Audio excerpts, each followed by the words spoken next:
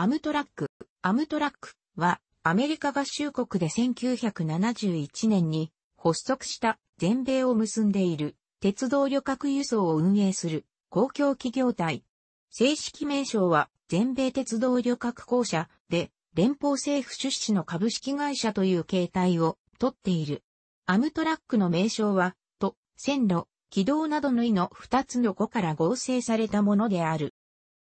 アメリカには国有鉄道が存在した時代がなく、全土の鉄道ネットワークは私鉄の集合体であった。第二次世界大戦後、航空や自動車輸送の台頭により、アメリカの鉄道旅客輸送量は減少の一途を辿っていたが、その傾向は1960年代に加速し、この時期、多くの鉄道会社が旅客営業の廃止に踏み切った。残存するわずかな旅客列車についても、その存続が危ぶまれたことから、鉄道旅客輸送を維持するために、各地域の鉄道会社の旅客輸送部門を統合した全国一元的な組織として設立されたのがアムラックの始まりである。形態としては日本の JR の旅客会社と日本貨物鉄道、JR 貨物を逆転した形になっており、アムトラックが線路を所有している区間は、北東回廊など、運行区間のごく一部のみとなっており、その他の地区では、各貨物鉄道会社の線路を借りて、アムトラックが自前の旅客列車を運行する形になっている、日本でいう第二種鉄道事業者に近い。また、ロサンゼルス近郊地域の通勤輸送を担うメトロリンクなど都市圏の旅客列車の一部の運行委託も受け負っている。発足直後に起こったオイルショックは石油類高騰に伴う車や航空機の燃料コストの増大からコスト面で安価である鉄道輸送にとって有利に働いた時期もあったが、1980年代の1978年航空規制緩和法 Airline Deregulation Act of 1978等による航空産業の規制緩和を契機に、アメリカ南西部を中心にサウスウエスト航空が勢力を伸ばしたほか、世界規模での格安航空会社の成功とビジネスモデルの確立により、中、長距離都市間連絡路線を中心に鉄道の利用客を奪われる形となった。利用が低迷したため鉄道運行技術も世界的に見ても決して高いとは言えず、こうした事情もあり、経営状態は最近に至るまでも厳しいもので、連邦政府や運行地域の一部の州からの財政援助に来てきたのが現状である。2001年9月のアメリカ同時多発テロ事件の後、アメリカ人の多くが民間航空機による移動を避けてアムトラックなどの航空機以外の移動手段を選択したため、一時的に業績は回復を見せたものの、2000年頃から脱線、転覆事故など重大事故を毎年のように起こしており、その度に、また、沿線の特に一部の無人駅舎には大量のゴミと落書きが頻繁に見受けれ、その環境の悪さも旅客離れなどの原因の一つである。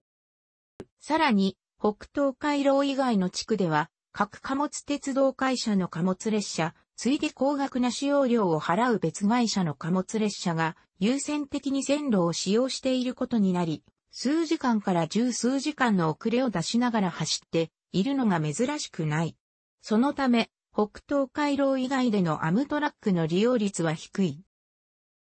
アムトラックは、それぞれの列車に名前を付けている。北東回廊線や一部の短距離都市間列車を除いて、1日1本から週3本程度の運行である。一部の都市には、最寄り駅から連絡バスを運行している。例、駅のあるオークランドあるいはエメリービルから駅の存在しない主要都市サンフランシスコへ連絡バスが運行されている。アムトラックが自社保有する区間は以下の通りである。フィラデルフィア・ピッツバーグ間のうちのフィラデルフィア、ハリスバーグ間。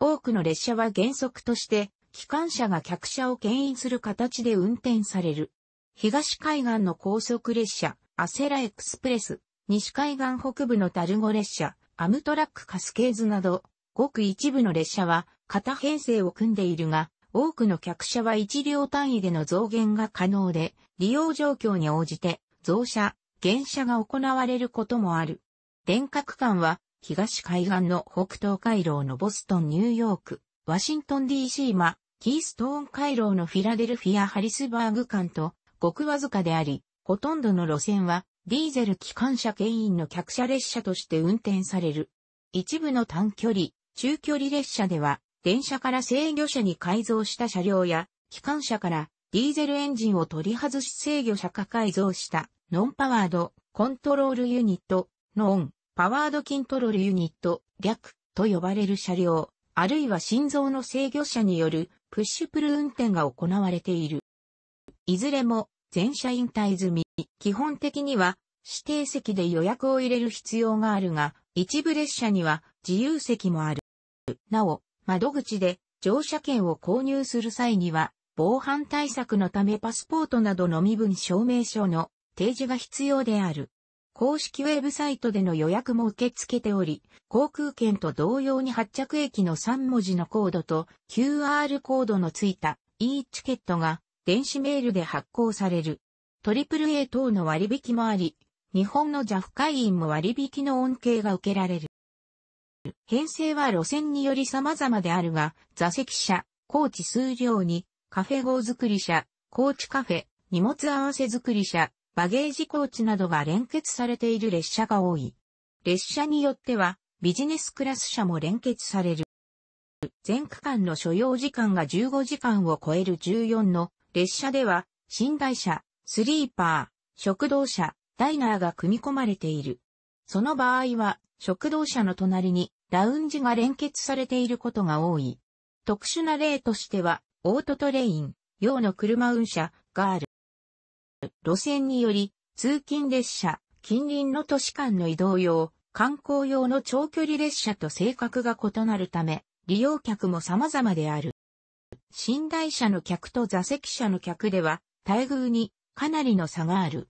例えば、寝台車のシャワーを座席車の客が使うことはできず、寝台車の客がソフトドリンク飲み放題なのに対し、座席車の客はすべて有料である。また、座席車の客には枕のみ無料で提供されてきたが、2013年8月より空気枕やブランケット等をパックしたパッセンジャーコンフォートキットを車内売りで8ドル、あるいは通信販売によって送料を含め15ドルで供給する形に改められた。北東海路線はアムトラックのドル箱路線であるが、都市間、バス、グレーハウンド、中華系資本会社など複数割や国内航空、シャトル便との競合が激しく、ビジネス客の獲得に力を入れている。カリフォルニアの3路線、キャピトルコリドー、サンホアキン、パシフィックサーフライナーも幅広い客層で、一定の乗客数を確保している。2008年8月現在、無人駅への自動列車案内システムの導入や、カリフォルニア州で、バート、カルトレインといった地域交通機関との連携も積極的に進めている。